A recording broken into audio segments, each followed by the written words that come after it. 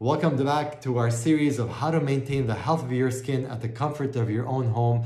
This is part two video where we're going to be talking about different types of peels, medical grade exfoliations that's been scientifically proven to actually reverse the aging process, make your skin look more youthful, more radiant, less pigmented, in fact, be protective against carcinogenic effects of the environment like UV light, wind, and age by itself.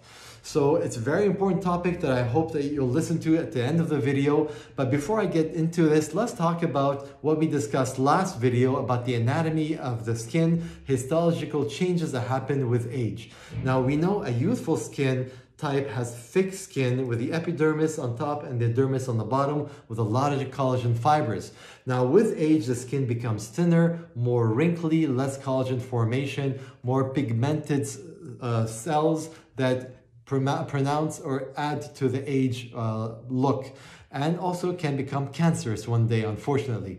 So what we can do is actually force the skin to regenerate, force this thin skin to go back to the thicker skin with, packed with collagen fibers that are aligned, shed off those pigmented cells that can become carcinogenic. Now, there are three types of peeling that we have are mechanical peeling, photon or light therapy peeling, and the last one is chemical peeling. Now, in all peels in general, we have mild peels, we have moderate peels, and we have strong peels. The mild and moderate peels usually have a shorter recovery. The stronger peels have much better effects or much more improved youthful effects and anti-cancer effects. However, the recovery can be very long, up to six weeks in specific types of 40% uh, acid chemical peels or specific ablative lasers like CO2. The uh, mechanical uh, peeling is basically a uh, dermabrasion or microdermabrasion.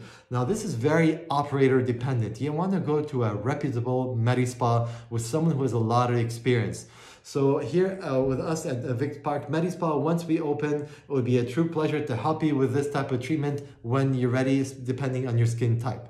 Lasers also are an excellent way to deliver focused energy, light energy to targeted cells, pigmented cells, uh, red cells, darker cells, uh, and also helps uh, uh with ablative and non-ablative lasers basically regenerate and rejuvenate your skin.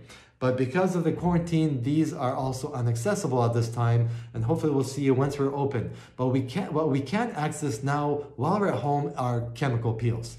The chemical peels are basically the one, the creams that you use at home. So this is a multi-billion dollar industry. I want to talk to you more about this because I don't want you to be wasting your time. These creams, you apply them, there's night creams and there's day creams. The next episode, we're going to be talking about what ingredients, active ingredients that have been scientifically proven and also with my experience that have what, what work and what, what works and what doesn't work. I see a lot of these fake type of uh, scams or slogans, anti-aging cream, uh, that I want you to be careful of. So in the next video, we're gonna be talking about natural occurring antioxidants, what ingredients to look for in your creams. Uh, hopefully you enjoyed this video. I hope that it empowered you and taught you something. If you have any questions, please message us. I look forward to answering some of those questions. If you have any comments, please uh, also write us a message.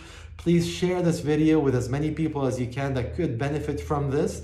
We are doing this series for you, to benefit you and to empower you. I hope you enjoyed it. I look forward to seeing you in our next video in part three of what ingredients to look for in your creams.